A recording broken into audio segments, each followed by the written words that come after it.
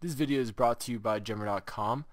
place where you can buy, sell, and trade collectibles of all kinds, uniquely for comic book fans and just lovers of pop culture in general. So go check it out, Gemr.com, and hopefully we'll see you there. Alright guys, so today we got our first official teaser image from the upcoming Shane Black Predator film being produced by 20th Century Fox. Now this movie marks the fourth entry into the solo Predator film franchise, with the last film being 2010's Predators by Robert Rodriguez. Now everything that we've heard about the film has been very secretive, although there have been little details that have trickled out over the past year as the script has neared its completion. Last August, a producer on the film film talked about it, saying that it would reinvent the franchise and that Shane Black would be keeping very faithful to the original canon of the films. He also stated that Fred Dekker and Shane Black would be pumping out a pretty awesome film that is worthy of fans' expectations. Now, the other interesting thing to note is that just three or four days ago, the co-writer of the film, Fred Dekker, posted on his Facebook that he had seen something very secretive, but he can't tell anyone about it, but for fans of Predator, they're going to love it. So I'm assuming that means that a teaser slash announcement is on the way officially from Fox with the title, cast, and other details because nothing apart from the fact that the script has been completed has been released from the movie. We know that Shane Black completed the draft of the film back in December, so the studio probably knows that the production should get underway if it wants to get released probably next year. A lot of things are cool to take away from this. Obviously, the first uh, teaser image has the picture of the iconic Predator with the caption, You'll never see him coming and quite possibly revealing the name of this film, which will be called The Predator, as opposed to just Predator or Predator 2 or Predators from 2010. So it's actually really cool, and I myself am a huge fan of the Predator franchise, and I've always longed for another film in the series because while I did enjoy the 2010 film by Robert Rodriguez, I felt that there were a lot of loose ends with that movie, and there's just so much more that you can explore within that universe that we have seen in uh, all of the numerous video games and comic book titles tie-ins and books and all these different related media regarding Alien, and Predator universes. And with this boom of cinematic universes happening in Hollywood right now, I mean Transformers has one. Why shouldn't the Alien and Predator series get a connected cinematic universe of films and spin-offs and all sorts of things? We know that Ridley Scott is currently working on Alien Covenant, which is the follow-up to Prometheus, and Neill Blomkamp has confirmed that Alien 5, which will be the one he's helming, will have uh, Ripley and Michael Biehn as Corporal Hicks back, so this Predator movie is coming at just the right time when I think Fox is finally getting its game back with the Predator series. So, anyways, tell me down below what you guys make of this news and how excited are you to see a new Predator movie. I think this is pretty awesome, and it'll be a nice change of pace from the different sci fi stuff that we've gotten, and also rumors have it that Arnold Schwarzenegger may reprise his role as Dutch in the upcoming movie, which also kind of makes a little bit of sense because we've seen Arnold have sort of a resurgence in his career and going back to his roles in nostalgic purposes like Terminator Genisys, which wasn't the best movie, but we can clearly see that Arnold Schwarzenegger loves the old franchise that he was a part of and most likely wouldn't have any problem returning to it. So anyways, post all your thoughts down in the comments below. Be sure to say subscribe to our channel for more content covering everything in the world of entertainment. My name is Nick and I'll catch you guys next time.